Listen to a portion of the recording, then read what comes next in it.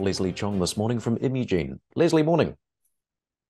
Good morning. Look, another big bit of news from you this morning. This concerning PD1 Vaxx and a phase two trial in bowel cancer set to open in the UK and Australia next year.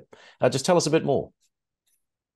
Yes, so I'm quite excited to announce that PD1 Vaxx, this is the first phase two study for our product that can can do. It's the PD1 Vaxx, and it's in earlier lines of disease. So let me explain that a little bit. So this is even before a patient has had surgery with their colorectal cancer. So we're moved it right along, and this is where I think a vaccine would be quite um, important.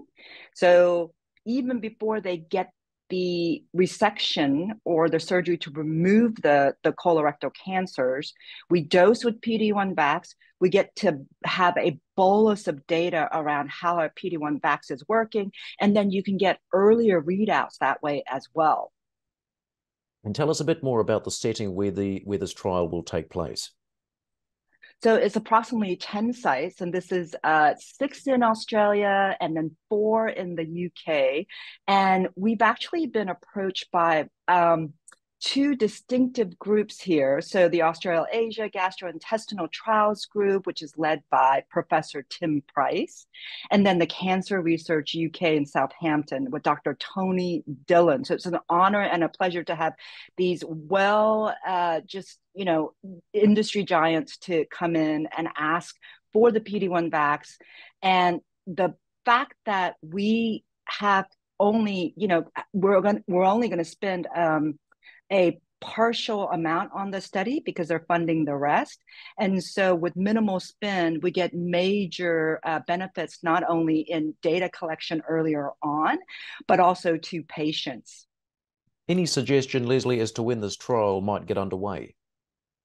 Well, it will get underway as soon as 2020 2024. So earlier on in 2024, we hope to announce on first patient in, first uh, site up and running. Um, you know, I might mention that clinical development and the path to uh, drug development is a convoluted and a complex process, but my team is uh, doing all the right things by our products by placing it an indication where we have seen major activity with an anti PD1 already. So we think that this is going to be a really wonderful uh, case for PD1 Vaxx. And then, um, so positive. Uh, positive data um, earlier in a hugely unmet need. So it's fast to market strategy again. Uh, it's right in line with our um, with our crucial uh, need for data collection early and as well as a registrational strategy. Right, Leslie. So we've got that trial to look forward to next year. Uh, what else have we got in terms of upcoming activity?